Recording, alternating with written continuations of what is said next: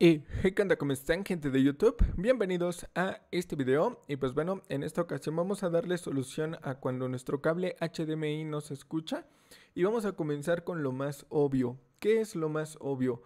Que pese a tener la forma de un HDMI, muy probablemente el cable sea de baja calidad o barato, por decirlo así. Y muchas veces o actualmente en las plazas de la, de la tecnología, en algún puestecito por allí de un tianguis, te suelen vender este tipo de cables pero no tienen salida de audio. Hay que verificar que sí tenga salida de audio y no únicamente de video. Entonces, eh, una vez descartado ese problema, vamos a eh, verificar que el audio de Windows esté funcionando. Vamos a ir al menú de inicio, vamos a colocar servicios, vamos a buscar el servicio de audio de Windows. Eh, generalmente está en orden alfabético, le vamos a dar doble clic y en dado caso de que esté detenido, le vamos a dar en iniciar. ¿Esto por qué pasa? Porque generalmente las pantallas, eh, dependiendo de la generación de smart que sea o pantalla inteligente, Dependiendo de ese grado de generación puede que tenga Android o puede que tenga el dispositivo del fabricante, por ejemplo LG o Samsung. Es decir, que cuando se conecta el cable a la pantalla se le da prioridad al dispositivo de salida nativo o el propietario, ¿no? Y pasa a quedar a segundo plano eh, nuestro equipo, en este caso la laptop o la PC. Entonces hay que volver a iniciar y en este caso va a escanear la lista de salidas de audio y al estar en ejecución ya se debería de escuchar. Eh, bueno, sería esto.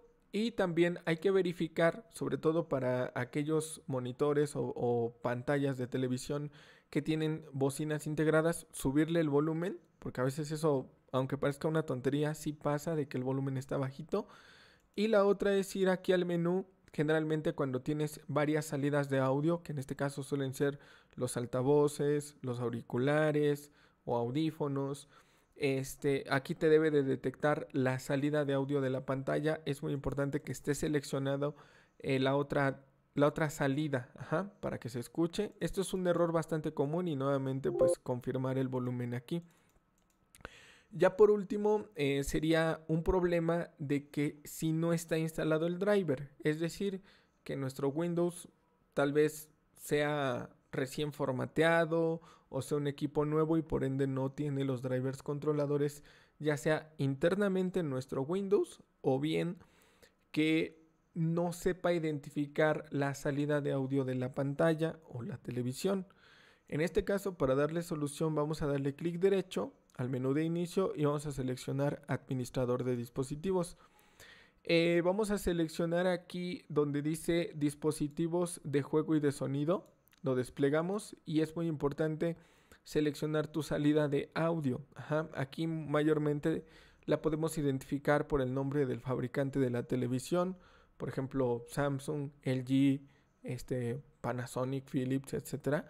Vamos a darle clic derecho y seleccionamos la primera opción que dice actualizar controlador. Es muy importante que tengas internet y le vamos a dar buscar controladores automáticamente, que es la primera opción. Esto va a hacer que escanee mediante internet y se te instalen los drivers que te corresponde. Ustedes si ven que aparece una barra de progreso o de que se está instalando, lo dejan hasta que termine. Y en este caso dice que ya están instalados los mejores controladores para el dispositivo le daríamos en cerrar y eh, después de actualizar de preferencia todos los dispositivos que estén eh, listados aquí, actualízalos, ¿no? Para ir a la segura. Y la otra es que muy probablemente también aquí te aparezca una que dice entradas o salidas de audio. También puedes intentarlo allí. O bien aquí donde dice dispositivos del sistema, que aquí también me muestra otra que es la, la altavoz del sistema clic derecho, actualizar controlador, seleccionamos la primera opción para que te los descargue de internet y también puede pasar que no tengamos internet. Eh, si no tenemos internet podemos utilizar el driver que viene por defecto. Yo sugiero que de preferencia eh, como primera opción vayas por la de instalarlos y si ya no te queda de otra, seleccionas tu dispositivo de salida, le das nuevamente clic derecho actualizar controlador y vamos a darle buscar controladores en mi equipo. Eh, vamos a seleccionar elegir una lista de controladores disponibles en el equipo, que será la opción de abajo.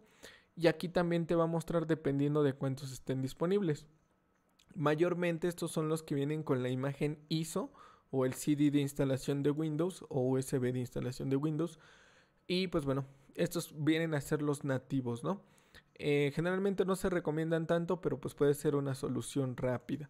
Le damos en siguiente, le, decimos que sí, esperemos a que haga ese switcheo o cambio de driver. Y ya te dice que actualizó eh, los controladores correctamente, le damos en cerrar. Y aquí te pide reiniciar el equipo para poder aplicar los cambios. En este caso, pues bueno, para no detener la grabación yo le voy a decir que no. Pero eh, tú reinicias y en teoría ya debería de estar solucionado tu problema. Y pues bueno, eso sería prácticamente todo. Eh, espero que les haya gustado y sobre todo que les haya sido de utilidad. Este, y pues nada, serían las opciones más comunes. Eh, ya si de plano no se escucha, sé que es muy difícil para algunos, pero pudieras intentar cambiar eh, otro cable o verificar si el problema persiste con otra laptop o otra, otro equipo de escritorio. Porque muchas veces suele ser que el cable esté dañado y ya no sea problema del, del software o de los drivers o de que si estén instalados los, los controladores correctos, sino de que el cable realmente está dañado porque muchas veces se tiene el hábito de que lo doblamos así como, como en 8, ¿no? Así.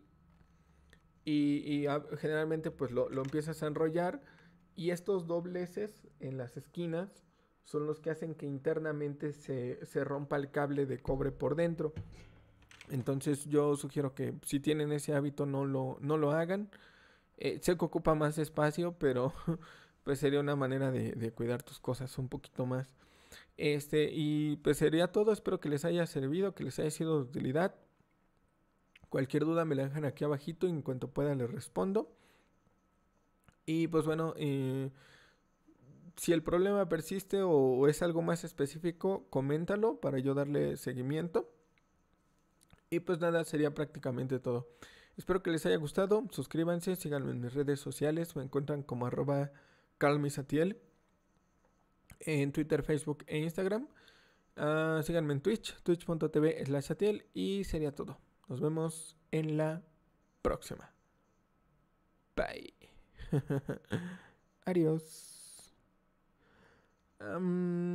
Sí, adiós. No me falta nada. A ver. Sí, creo que es todo. A ver, permítanme. Creo que... Mm, sí, sí es todo. Sí, sí es todo. Nos vemos. Nos vemos.